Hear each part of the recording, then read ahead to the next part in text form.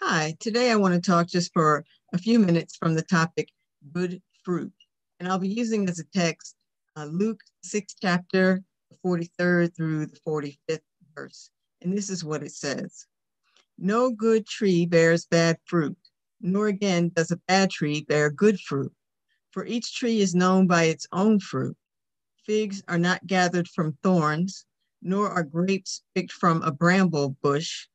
The good person out of the good treasure of the heart produces good, and the evil person out of the evil treasures produces evil.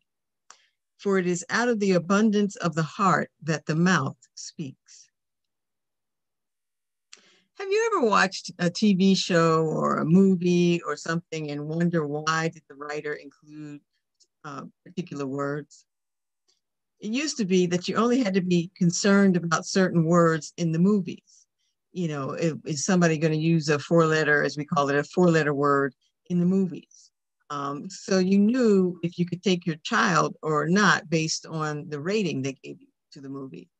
But uh, lately, it seems like things have changed.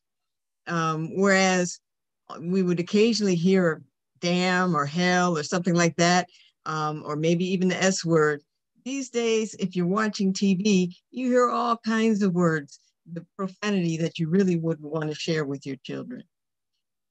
I'm guilty of watching some of those shows. I have to admit that I have sort of a what you would call a guilty pleasure of watching some of the 90 Day Fiance shows or um, you know, watching a show like The Shahs of Sunset. I do watch that.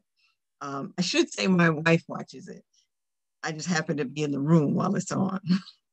well, that's not true. I, I watch it just like she does. I won't throw her under the bus.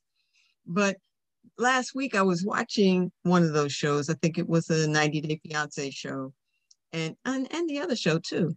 Um, people were using profanity, just cussing like a sailor while holding children.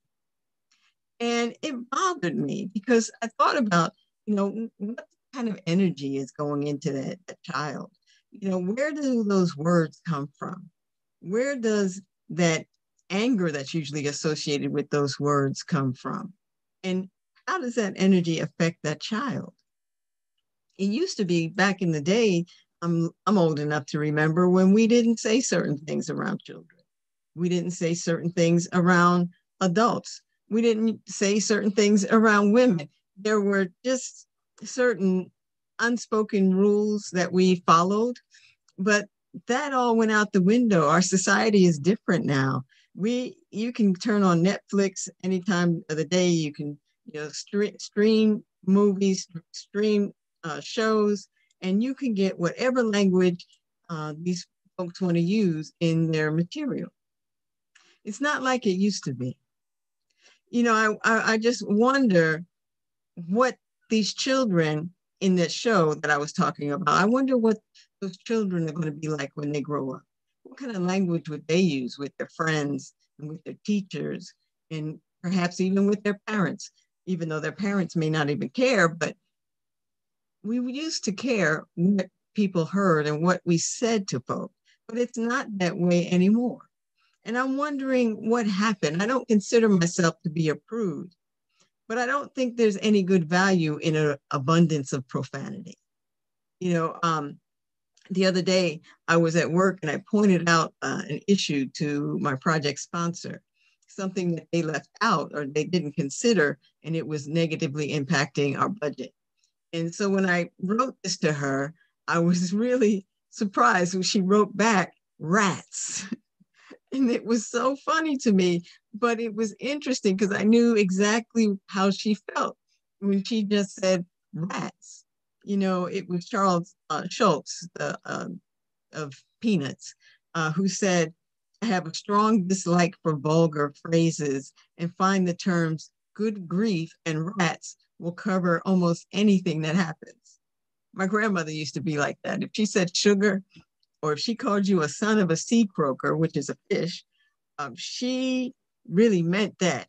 She didn't curse, but those words let you know that she was upset, let you know that something was going on. So we don't always have to use profanity. Sometimes we just have to come up with another phrase. And sometimes we have to use, um, we need to think through what we're really trying to say and paint a picture with our words. Paint a picture and let somebody know in a, in a, in a clear way that I'm upset and this is why. But I don't have to use profanity to get my point across. Jesus was talking about this sort of thing in the text. You know, who we say, what we say, and who we are is important. And if you're going to be a follower of Jesus, if you're going to be a follower of the way of love, there are certain things that should not come out of your mouth. But the thing is, they don't start at your mouth.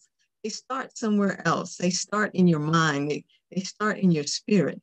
And so Jesus is saying that, you know, it's out of this source, this deeper place that this these words come from, the, the things that come out of your mouth that either help or hurt. They come from somewhere inside.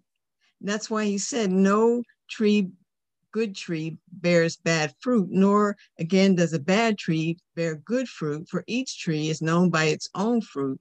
Figs are not gathered from thorns, nor are grapes picked from a bramble bush. The good person out of the good treasure of the heart produces good, and the evil person out of the evil treasure produces evil for it's out of an abundance of the heart that the mouth speaks. You know, he was trying to talk to his disciples. This text comes out of a section of Luke that's called the Sermon on the Plain. It's similar to a smaller version, actually, of what's in Matthew that we many of us know of, the Sermon on, on the Mount. Um, and it's a it's a it's a collection of the teachings of Jesus about how, if we're going to be a follower of Jesus, which means we're going to be a follower of love, this tells us how we're supposed to act and how we're not supposed to act. But he uses a metaphor of a tree and fruit to try to get that point across. So, being a follower of love, being a follower of Jesus, in many ways, is like being a healthy fruit tree. I had to look up fruit trees and see what's necessary for a fruit tree to yield um, healthy fruit. And the first thing that's really necessary is good soil. A healthy tree needs healthy soil as a foundation. Just like a tree, we need that as our soil. We need a healthy foundation too. We need things like confidence.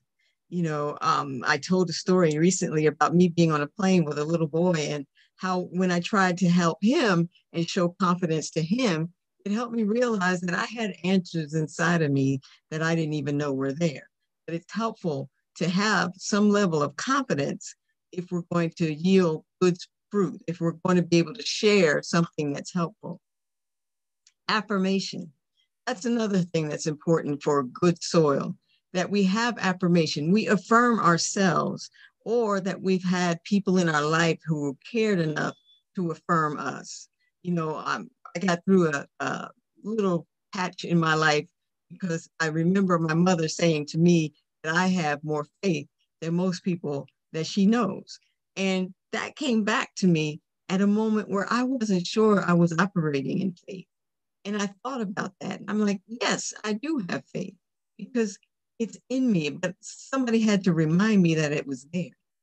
I had to affirm that. The other thing we need for good soil is peace. We can't have troubled soil. We have to have the right pH balance. You know, you, things need to be peaceful. And there has to be a certain wisdom in us, in us if we're going to grow. We need to be in soil that has wisdom. You know, it's important. I often like to sit with older people when I'm out or at a church function or something because we learn lessons from people from what they've been through. We don't have to have the experience of everything. We just have to be around people and be open to receive from them. We need to have humility if we're going to have good soil. Um, I read something that said there's nothing noble in being superior to your fellow man or woman. True nobility is being superior to your former self. We're only responsible to us, and we need to be humble enough to say, I, I'm a person who's in progress. My soil that I'm in is soil that I use to better myself, not to be better than you, but to be better than me. You know, the other thing that we really need after we have good soil is we need sunshine. We don't need shade. We've got enough shade in our life. We need to fill our life with as much positivity as possible because we have enough rainy days in our life, days that we don't have any control over, when things happen in our life to bring us down.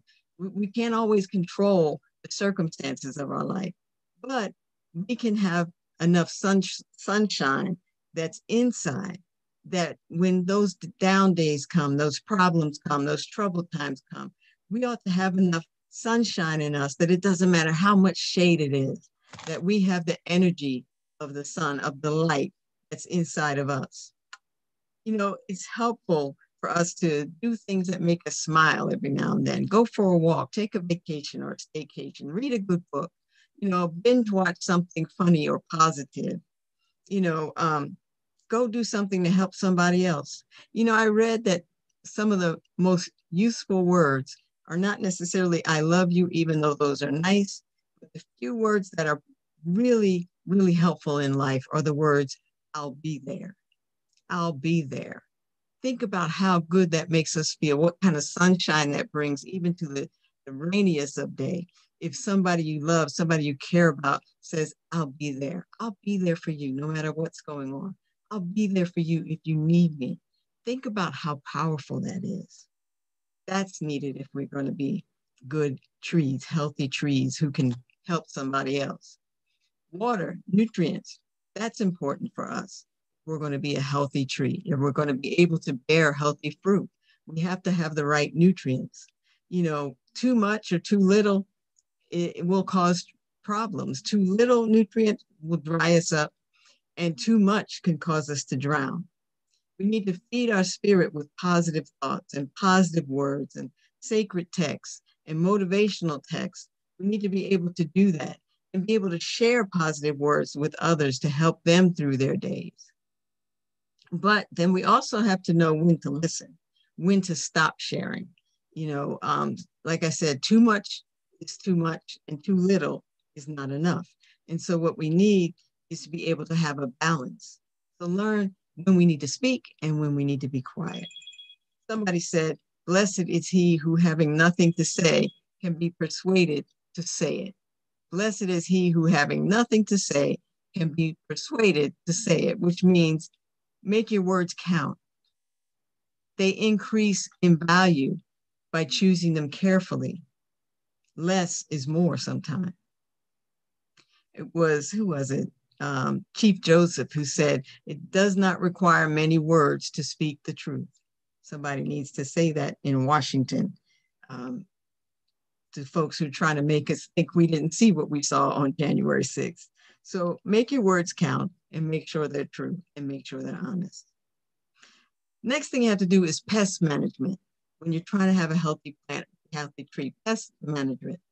You um, need to know what's good for you and what's bad for you. Sometimes it's people where we have to do some pruning um, to get rid of the pests, get rid of the things in our life that don't serve us, the things that don't feed our spirit, the things that drag us down. I mean, we've all been in places and around situations that we knew weren't good for us. And we needed to get rid of the pests in our life, even when the pest is you. We need to be able to look inside and say, you know what, something's not right here. Let me get rid of this, this foreign agent in me that I know is not going to lead me to being a healthy me. So we need to be able to do pest management if we want health, healthy trees. Because there is such a thing as cross pollination. We, you know, some trees grow better if they're next to another tree and they can cross pollinate. And so we need to be able to be around different types of people with different ideas and different thoughts. Diversity is important. Um, I, uh, an Islamic proverb says a lot of different flowers make a bouquet. Um, but then also on the flip side, we don't want to cross pollinate with things that are not healthy for us. Um, I'm sure we've all had uh, people in our life and circumstances in our life that we knew weren't good for us. But we have to be able to see that some places, some people, some situations are not good for us, and we need to keep ourselves out of there if we want to be healthy enough on the inside that we can bear positive fruit in our world. I mentioned before we have to be willing to do some pruning. You know, take some time for critical self reflection look inside and see what inside of you you choose to change, not what somebody else needs for you to change, but what you need to change. We can't change other people, we can only change ourselves. And so we need to take some time to look to see what in us needs to be pruned, what needs to be um, taken out of our life. See, the point that the writer of Luke was trying to get across to his readers was if you want to be a follower of the way of Jesus, if you want to be a follower of love, you need to be able to act like somebody who says, I am a follower of the way of the one who taught us how to love each other, the one who taught us about unconditional love from God, the one who taught us that love matters.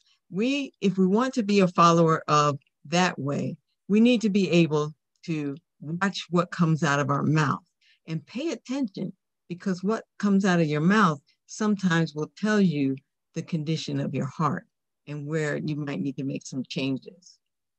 It was Napoleon Hill that said, think twice before you speak because your words and influence will plant the seed of either success or failure in the mind of another.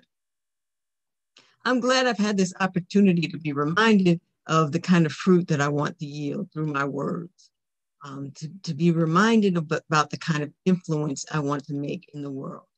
I want to close with some words from the Christian mystic um, Henri Nouwen. And he said, Did I offer peace today? Did I bring a smile to someone's face? Did I say words of healing? Did I let go of my anger and resentment? Did I forgive? Did I love? These are the real questions. I must trust that the little bit of love that I sow now will bear many fruits here in this world and in the life to come. My friends, we have an opportunity, we have an obligation our world needs for us to bear good fruit. Thank you for listening.